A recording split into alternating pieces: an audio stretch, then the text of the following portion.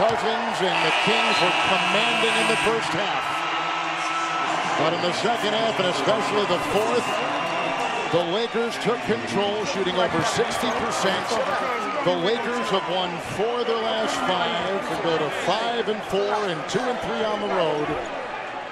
And Cousins with the conversation for the Lakers.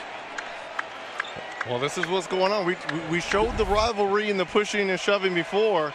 Here's Julius Randle and DeMarcus Cousins kind of going chest to chest here and words being exchanged. The rivalry is renewed. Where's the love Wildcats. lost between the two Kentucky Wildcats? This is great.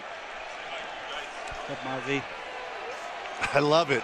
I love rivalries and I love when teams and cities are involved. It's good to have your personal one-on-one matchups, but when you have two teams that do not like one another, it just amps it up. The advantage that where we can get the rebound, push, and get out on the break.